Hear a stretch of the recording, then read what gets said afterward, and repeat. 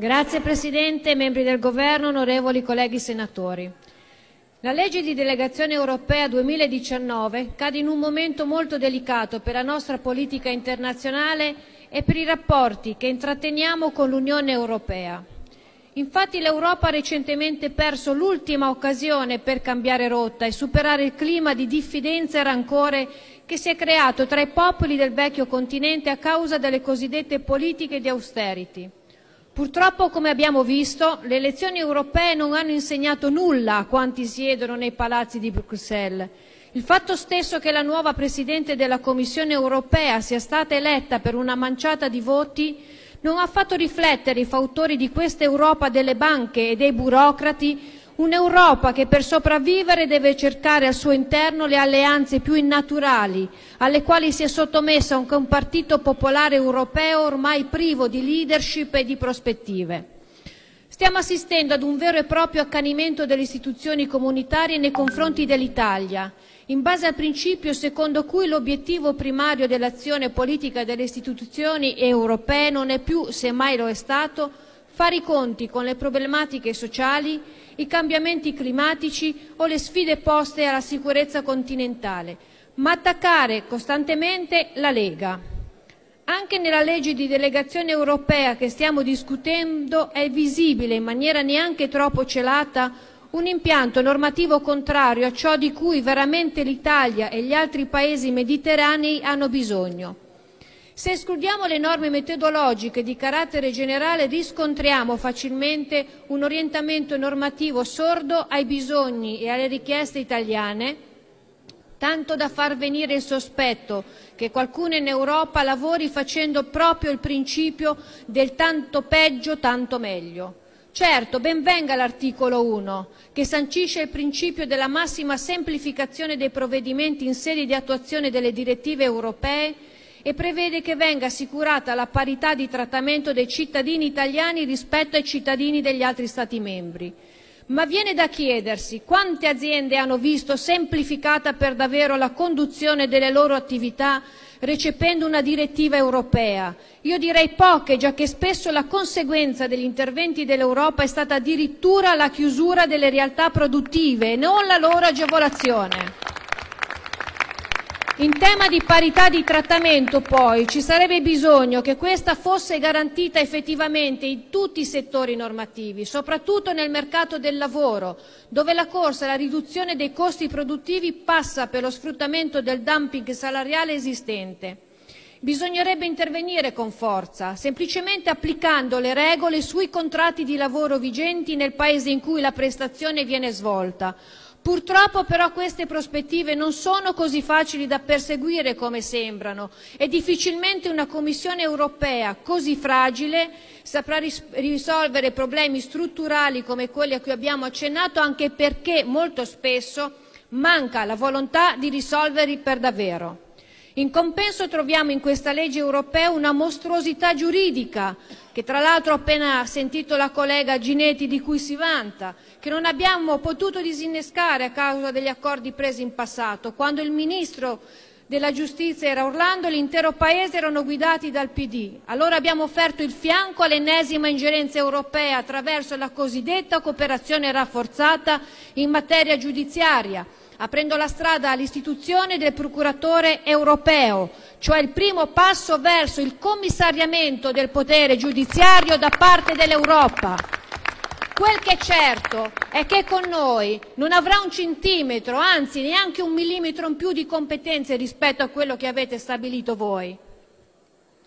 Infatti, l'intenzione dell'allora ministro Orlando non era di fermarsi a questo livello, ma di ampliare ulteriormente le competenze, come ha detto la collega Ginetti, del procuratore, criticando quei paesi in disaccordo con questo disegno, perché secondo l'ex ministro in loro aveva prevalso una preoccupazione miope Ebbene, caro concittadino, visto che Orlando è della mia stessa città, quei paesi avevano come unico obiettivo l'interesse nazionale, un concetto, a voi direi, del PD, alquanto sconosciuto come abbiamo potuto verificare.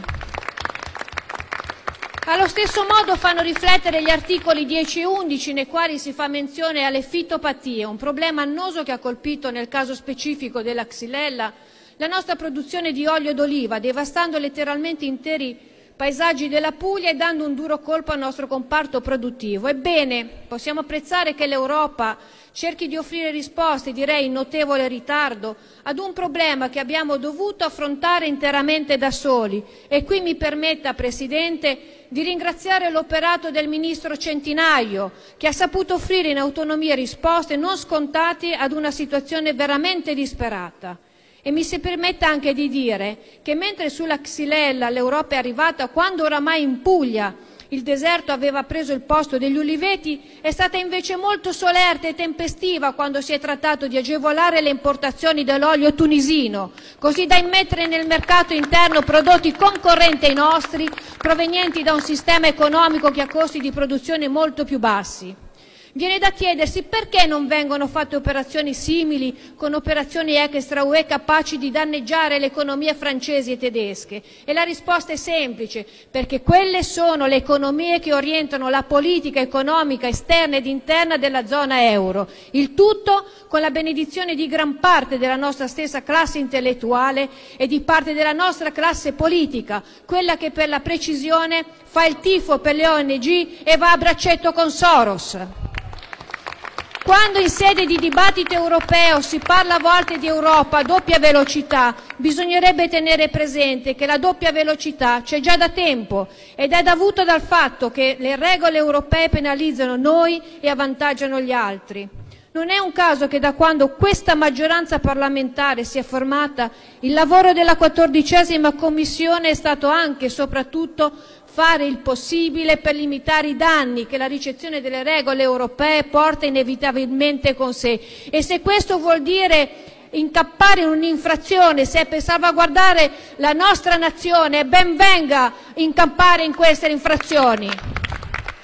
Invece di invocare i cordoni sanitari, certi partiti europei dovrebbero chiedersi perché ad ogni votazione su tematiche comunitarie gli italiani rispondono di non volere più quel tipo di Europa, cioè un'istituzione che lavora palesemente per mettere in ginocchio il nostro Paese. Vede, Presidente, all'indomani delle elezioni europee la classe dirigente che fino ad oggi ha governato l'Unione Europea e che ci ha portato sull'orlo del baratro poteva scegliere tra arroccarsi ulteriormente sulle sue posizioni superate dal tempo e dal desiderio di cambiamento dei popoli oppure venire a patti con la realtà.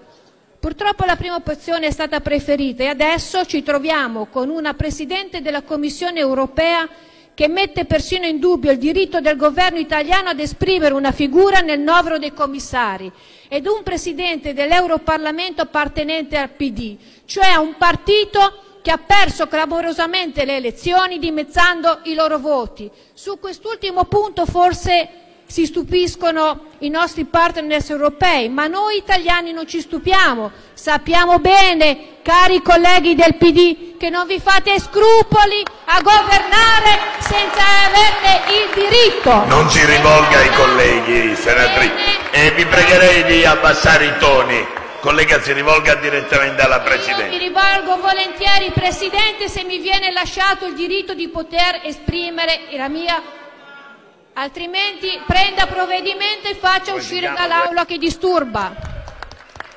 Faraone, sento dei boati provenire da una piramide sotterranea. Stia tranquillo, per favore. Non faccia quei boati. Grazie. Guardi, Prego, senatrice, concluda. Presidente, se arrivassi da una, da una piramide sarebbe prezioso, purtroppo non è neanche così. Sappiamo bene, bene che il PD non si fa scrupoli a governare senza averne diritto e sappiamo come sia foriero di consigli Senatore Faraone, la richiamo all'ordine. e capace di suggerire Sta svolgendo un intervento, le ho già detto di rivolgersi non ai colleghi, ma può esprimere senza offendere nessuno come vuole. Prego. Mentre non si può fare dei, come li possiamo chiamare, dei rumori cavernicoli come quelli che ho sentito. Presidente, io non ho offeso nessuno, ho semplicemente fatto Prosegua, una prosegua, prosegua, prosegua. proseguo, grazie. Non, non si rivolga ai colleghi. Io mi sono rivolta a lei, infatti. E sappiamo come sia foriero di consigli e capace di suggerire soluzioni ai problemi quando è all'opposizione. Peccato che il più delle volte i problemi arrivano proprio dalle loro scelte politiche del passato. La sola nota positiva di questa nostra battaglia contro l'Europa dei banchieri è che gli italiani hanno ben chiaro chi ha tradito il nostro Paese per un piatto di lenticchie e chi invece la sta difendendo con le unghie e con i denti.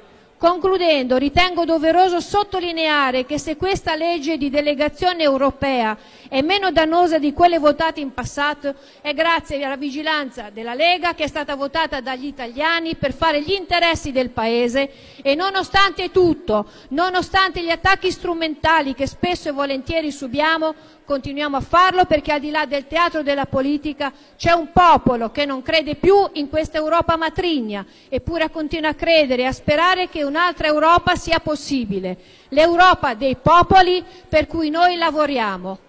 Oggi gli euroscettici sono i soli europeisti, tutti gli altri, gli altri sono i servi sciocchi delle potenze straniere.